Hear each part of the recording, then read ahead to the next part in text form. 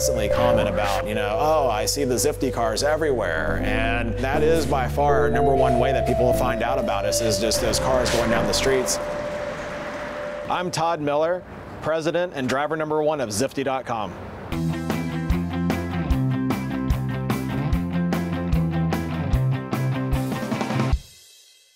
I need a walnut shrimp with steamed rice.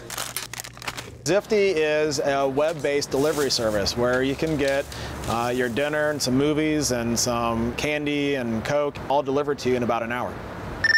And we're off. This one has me going to Moe's.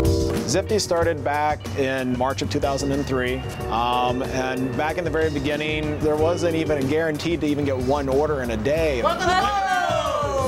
This one's going to North Avenue. But just a couple nights ago, we actually hit a record night, and we've had record-breaking months every month this year. Thank you very much. Have a good day. Bye-bye. New five orders in under five minutes now. I call that the sweep, where you're just like you're there and you just go. I'm Jennifer Pate, and I'm the vice president, partner, and driver number two. What we tell the drivers is that really you're a customer service person first and a driver second.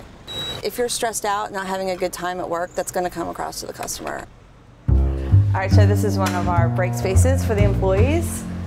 I think it's hilarious when I come in here personally and check out the quotes from employees.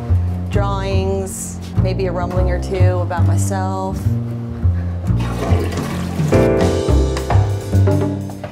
Zifty culture is unique and it's cool because we really embrace people to be who they are. You know, obviously we're here to get the job done, but we do as much as we can to support our employees, to have a good time, to have fun socials, to celebrate people like for their individual success too. And I think that that's appreciated and I don't think that's very common in it, you know, your typical hourly kind of position. Zifty was named to one of the 5,000 fastest growing privately owned businesses in the U.S. for the year 2012. I think a lot more people are being forced into starting their own businesses.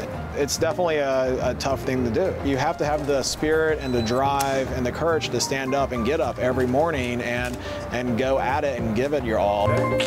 If you don't, you know, you're destined to fall flat on your face and, you know, be right back at the starting block.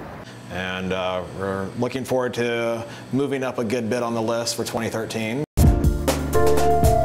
Todd and I are still dedicated to coming up with new ideas and we're not afraid to make a change, admitting when we're wrong and tweaking things and listening to people's input and that's what makes it exciting and that's what makes me love to come to work.